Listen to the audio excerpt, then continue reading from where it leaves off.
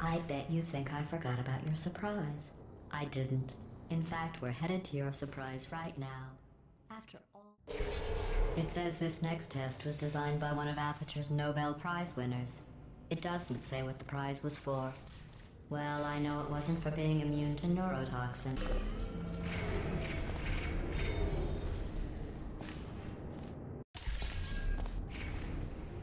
I bet you think I forgot about your surprise.